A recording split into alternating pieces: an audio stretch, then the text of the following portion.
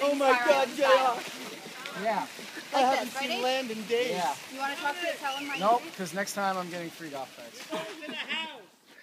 I want McGuire's first. No. Yes. Yes, we have to. Yes, We have to dropping all off the stuff. All right. Thank you, buddy. You're not the boss. I got that in the camera. JR, can you uh, Hop on.